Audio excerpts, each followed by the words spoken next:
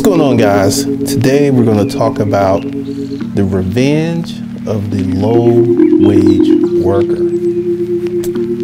There's a lot to unpack here. But also, I want to let you know that you can go ahead and subscribe to my new The Corporate Game channel where I'm going to teach you how to set up a corporation. There's a lot that's going to be happening. Links below.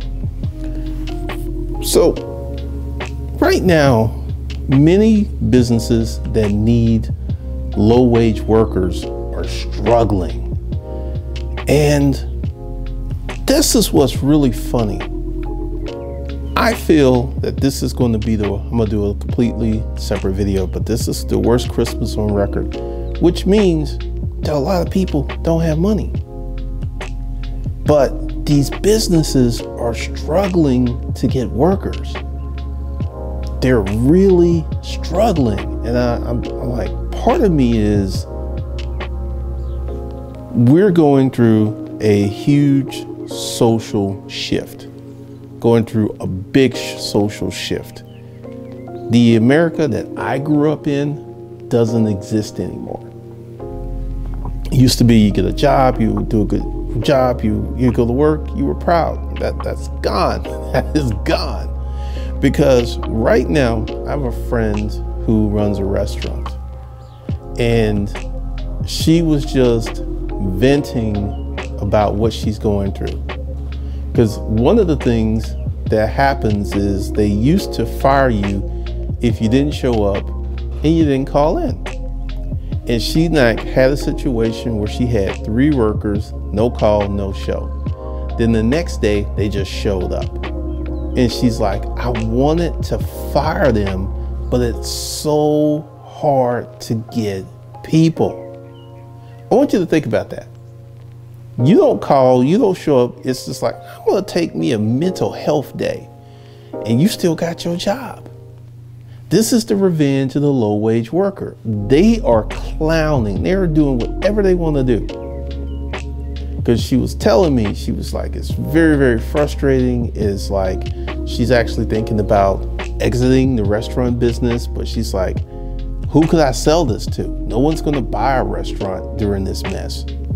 And she's kind of stuck at the moment. So, this is some other stuff that is happening with the low wage worker. One of the things that is a I'm seeing like frequently on my Nextdoor. The credit card machine is down and you have to pay cash, right? And people are finding that the receipts that they give are not the receipts of the stuff that they ordered because the workers are taking the cash and putting the cash in their pocket. Now, this kind of dovetails into the rise in crime. This is this is something that's going to go on, and this is going to be something that's going to bring on automation like crack because right now this is going on across America. Low wage workers have figured out some stuff. No one is really watching them, and they can do what they want to do. So I saw this on Nextdoor like 15 times. So this is a common practice. Oh, the credit card machine is down. You need to pay me cash. And they're giving themselves a generous tip. They are breaking themselves off a nice piece of the American pie. Now, years and years ago, this wouldn't have happened. People were not so quick to steal because essentially this is what they're doing. But they feel because they're stealing from a nameless, faceless corporation that it's okay. But here's the problem, and I'm about to make a confession here. I've talked about it a long time ago in my videos, but I embarked in some white collar crime. I did a little credit card fraud, and I got away with it. And I felt bad and one of the reasons I did it a few times and then I stopped, I didn't do it anymore because I'm afraid of going to jail. And that's typically what happens when you commit these credit card crimes and stuff. And Now, these people, like I said in my other video, the prison pipeline. Um, if they get caught, they're not going to do any hard time. So there is no prison deterrent because there's going to be so many of them. There's going to be such a large group of non-violent criminals. I mean, I am just sitting, I'm observing, I'm waiting, I am looking what is happening, and honestly, I'm kind of scared. I'm a little scared because once we once this filters down to the prison, the criminal population, because see, this is one of the things that the criminal um, segment of society has going for it is a very robust um, communication system. So once it filters down that, hey, I can work at Taco Bell and then I could say the credit card machine's down and let's say I put $300 in my pocket for the night. That's more money than they're going to be making working three or four jobs.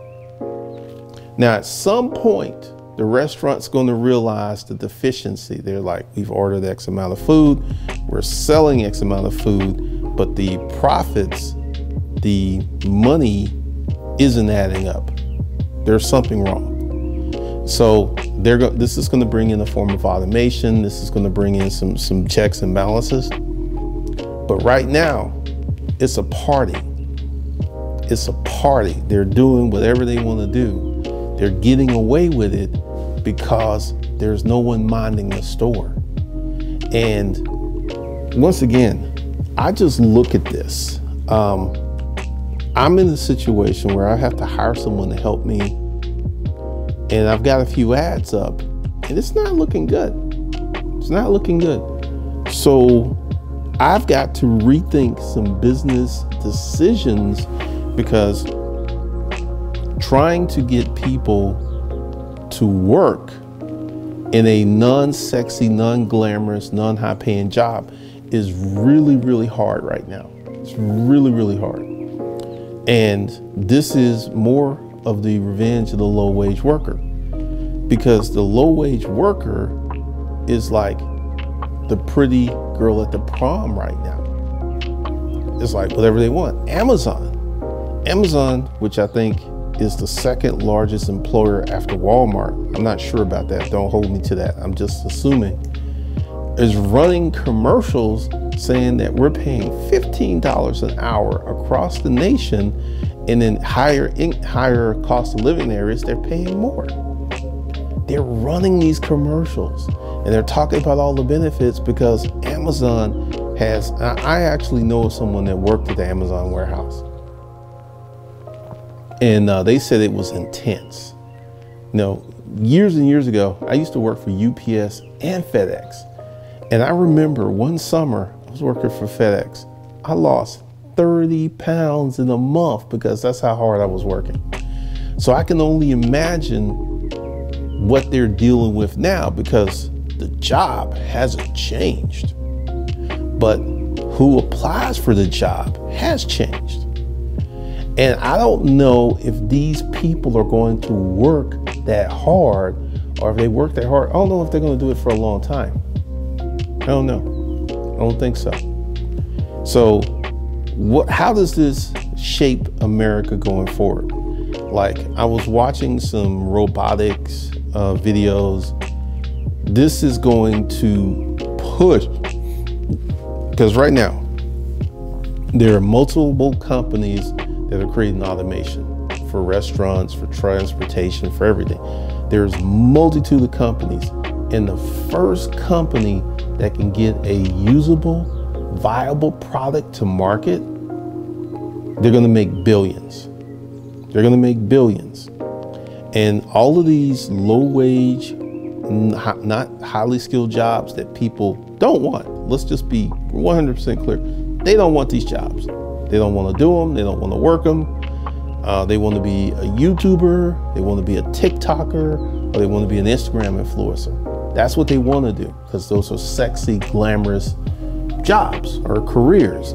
I mean, I could say I've been a YouTuber for 12 years. And honestly, that is the longest that I've ever done any type of career. I have a 12 year YouTube career. 12 years. So, in some regards, YouTube is a viable career. It is. And I'm getting ready to reframe, reformat, and redo my whole YouTube platforms. I'm getting ready to redo everything because this is a viable career path. It really is. And there are many, many people who want to do YouTube and Instagram and TikTok, and I'm seeing them, but here's the thing the top 10% of YouTubers, Instagrammers, TikTokers make 90% of the money.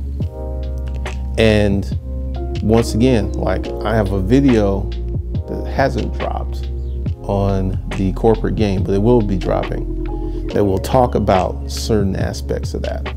But what this is doing is casting the die for the future to be very, very automated because we've had this pandemic situation two years. And the culture of America has devolved in two years. Like I said in my last video, um,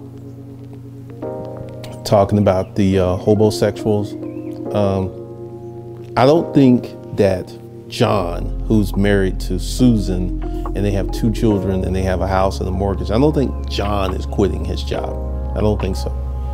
And I don't think Susan is quitting her job. But the number of homosexuals who are quitting their jobs, who are living with parents, living with some uh, someone other than a relative, this is going to spur an era of innovation like we have never seen before. You're going to see, like, once again, all day I've been watching robotic videos, I've been watching automation videos, and there is a robot that has human facial features right now. Uh, her name, uh, they call it Ameca, A M E C A, I believe. Very, very lifelike. And in this five year period, we're going to see a stunning era of innovation. We're going to see a stunning level of automation, and we're going to see a stunning level of tech. And in each one of those segments, these people are going to become billionaires. This probably for these highly skilled, because once again, this isn't going to be Bobby on the corner who's going to be behind this innovation. It's going to be the people who are at MIT. It's going to be the people at Cal. It's going to be it's going to be the highly educated people in these think tanks, in these labs that are going to be doing this stuff that's going to create an amazing situation of innovation because they have to. So you're going to see some stunning developments. You're going to see some stunning improvements of products and services because the years and years ago, Google came out with this uh, AI that can answer a phone. And if you've ever noticed when you call your credit card company, it's an automated attendant. And some like it used to be, you would talk to it and you would hear this because it was thinking. Now you don't even hear that. It is seamless. And what's going to happen is these automated attendants for you know customer service are going to get smarter. You're actually going to think that you're talking to a live person. You this this is how good this stuff is going to be. You're actually going to be talking to a computer, a robot, and you're going to think that you're talking to a real person you will not be able to tell the difference between a real person and this automation. And once they get it to the point where they can bring it to the fast food restaurants, because this is where um, the lack of personnel is high. Like the high-end food chains where these people, like a waiter at Hal's, which is this high-end steakhouse around here, make 70, 100,000 a year, a waiter. So they're not having the supply worker shortage that say a corner bakery or a Chick-fil-A. Yes, even Chick-fil-A is having trouble hiring people. Uh, McDonald's is having trouble hiring people. So as long as we have this situation, once again, this is temporary. I know it seems like it's forever because we're going through it, but it's temporary. Nothing lasts forever. Nothing bad lasts forever. Nothing good lasts forever. So we're in a temporary cycle where that's going to produce permanent change. It's a temporary situation that's going to produce permanent change. I'm going to tell you why. Let's say it cost a company $50,000, let's say 75,000 between salary and benefits to hire a person to answer the phone and to be a problem solver for their customers' needs. 75,000. And they have to take weekends off. What you're going to see in the future is 24 7 customer service. You're going to be able to call your credit card company 24 hours a day, seven days a week, rain, summer, whatever, and you're going to be able to get the exact service that you require because they're going to have these automated attendants. Because these automated attendants, they don't have to take days off. They don't have to sleep. So this is going to be an era of innovation because I'm getting ready to start diving into technical journals and robotic journals and stuff because once they can get a robot with full articulation, you know, moving your hand like this, I know that it seems simple because you could just, they can do it, but to get a piece of robotics to do all the things that your hand can do is pretty complicated. It's pretty hard. And I feel in the next five years, they're going to get there where they're going to have automation, where they're going to have a robotic hand that's going to have the full articulation, the full range of motion of a human hand. And when that happens, game over. Because they're going to attach this hand to a fully articulating arm, and they're going to have a robotic body that can lift, move, and do things. And let's say this robot costs $50,000 they will get their money back within the first six months. You want to know why?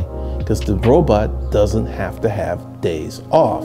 So this robot's to be able to work in that warehouse seven days a week, 24 hours a day. So instead of having a human shift, uh, shift one, shift two, and shift three of humans, they're going to have one collection of robots to do these things. And it's going to be able to work and except when it needs to be charged up, that's the only time it's going to not be working. We're about to see an amazing, you know, part of me is excited because I like stuff like this. And part of me is sad because this is going to kill millions of jobs. Millions of jobs.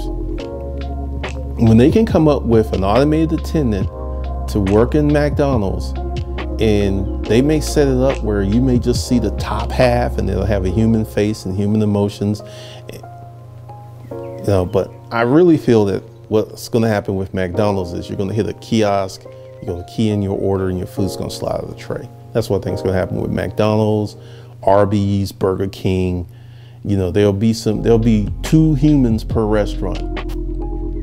And these would be the people to run the automation. So a typical if I'm if I'm thinking correctly, when I walk into a Burger King, I would see eight to twelve people. And those eight to twelve people would go down to two because of automation, or maybe even one. So right now, if you are a low wage worker, have your fun because this is a temporary situation.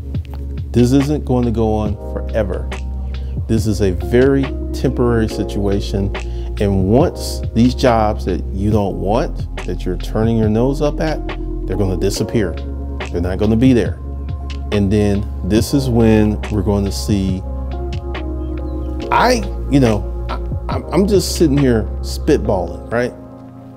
But what I feel is going to happen is, and this is going to be a separate video, but I feel this is going to push in a level of socialism. Because going back, referencing Jordan Peterson, we already have a large segment of society that we don't have jobs for. We don't have a use for. And I'm not saying that these people are worthless because I already have my worthless people video. The worthless people are the folks who are committing crimes, who serial killers, these people who will just harm someone just because they have an inclination. Those are the worthless people. What I'm talking about this group of people who doesn't don't have the intellectual capacity to work certain jobs, we've got probably 30 to 50 million people that we don't have jobs for we don't have jobs for. There's nothing for them to do.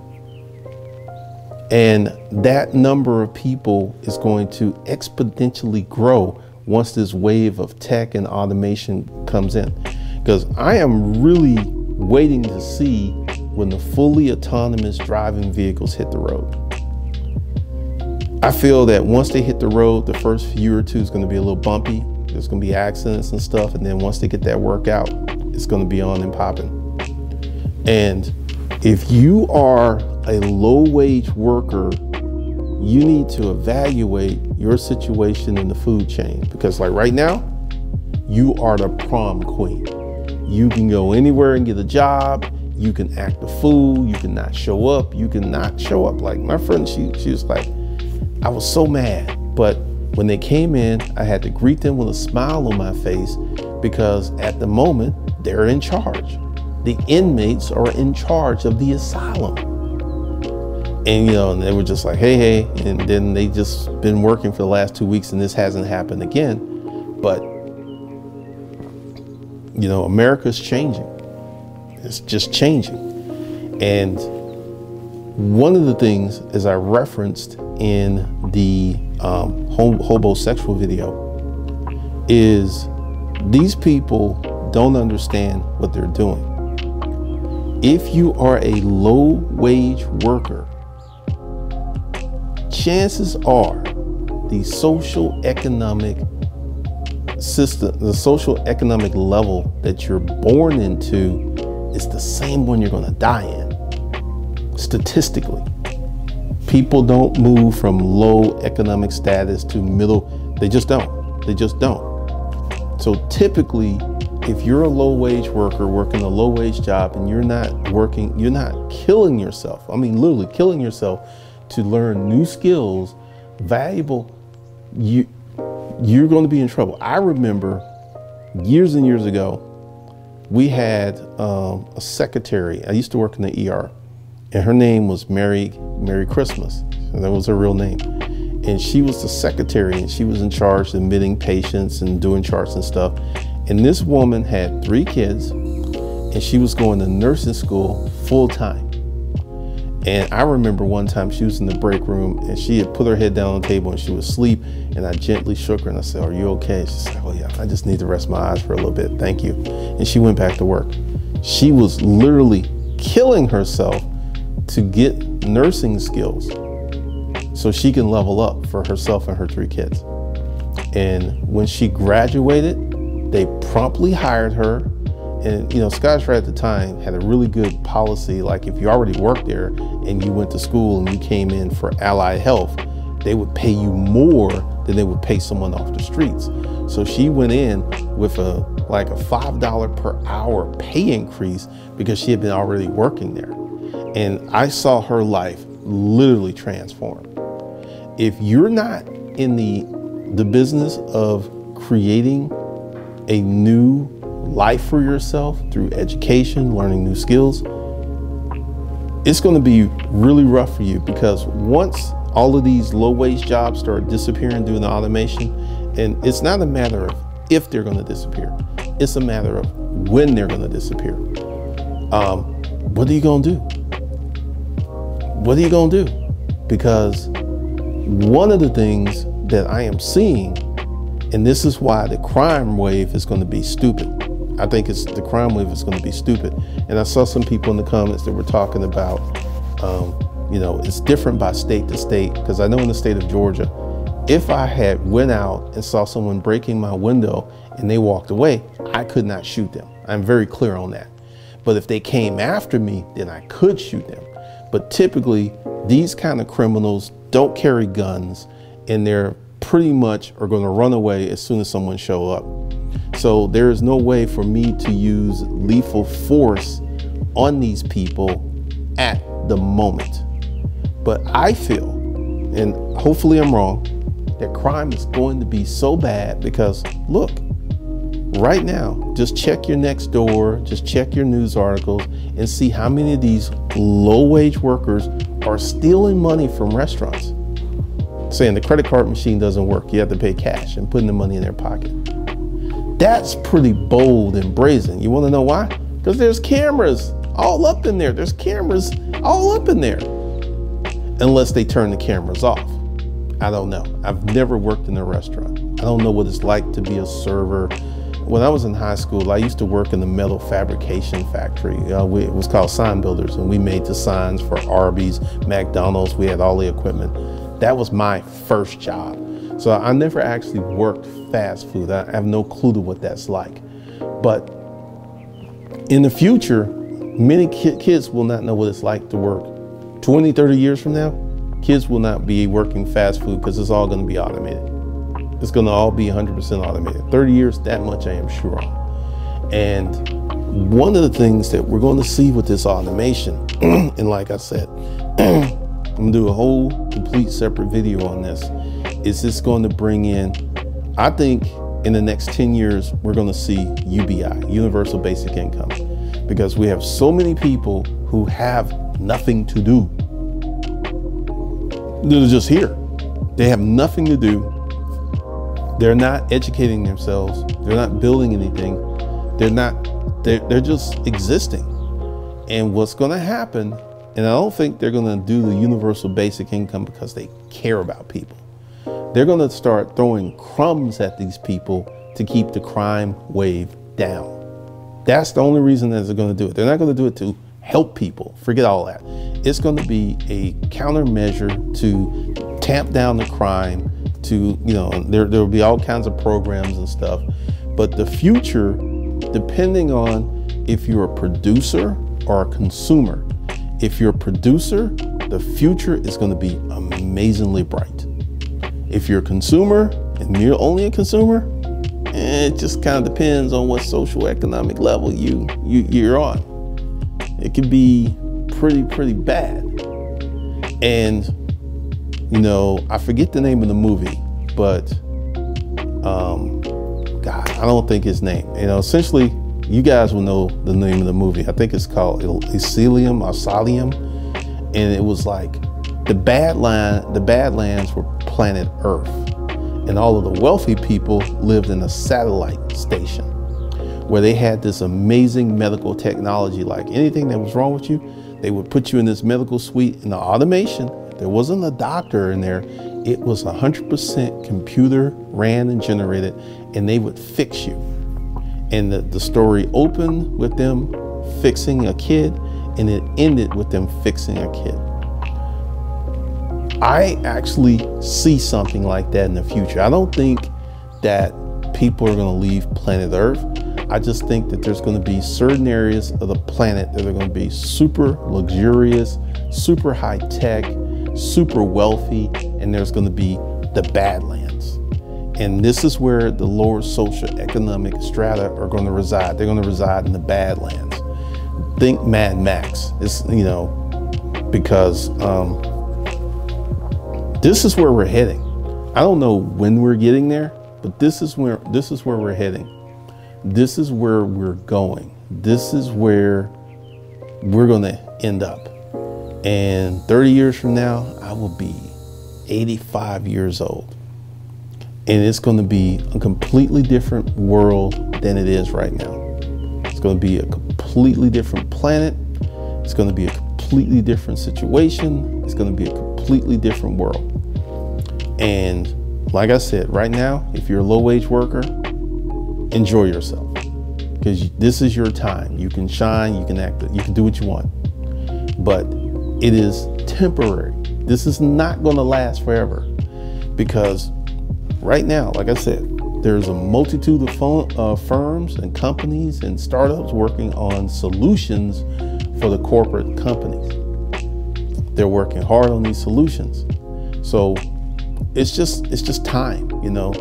And what I feel in 2022, we're going to see some crazy stuff. Crazy stuff. Crazy stuff. So that's all I got for you guys. Be sure to subscribe to the corporate game where I teach you how to start a corporation the correct way.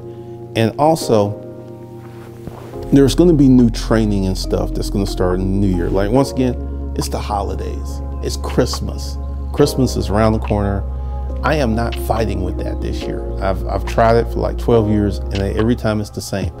People want to be off, they want to enjoy their families, they want to have, eat good, drink good, hang out with friends, do their things. Hey, Merry Christmas. God bless you. I hope you have a good time. But I'll be still here working. I'll still be producing content, observations, giving you my insights where I think we're going. And uh, shout out to the retired police officer that said I was 100% correct, and that's why he retired. Like, once again, this crime wave is going to be nasty. And for the petty, nonviolent crime, that's just going to be a nuisance. But the violent crime, that's going to be really, really awful. Really, really awful. So this is Glendon Cameron. That's all I got for you folks. I will see you in the next one.